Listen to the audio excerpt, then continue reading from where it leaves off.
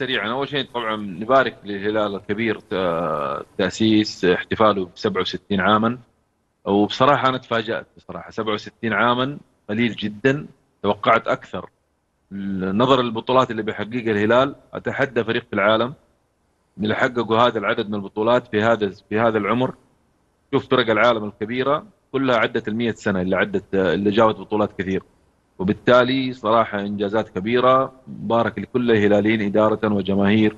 واعضاء شرف على رأسهم طبعا صاحب السمو الملك الأمير وليد بن طلال. أروح